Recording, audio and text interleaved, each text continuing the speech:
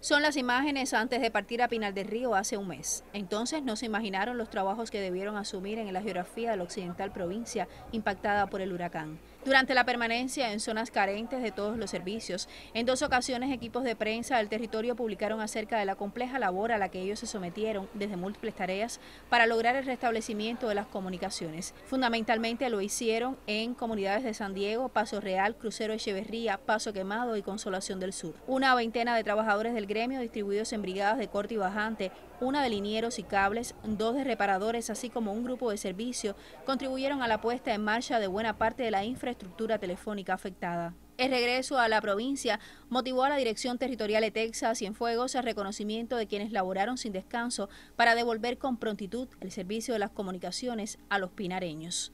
Mayerín del Sol, Notisur.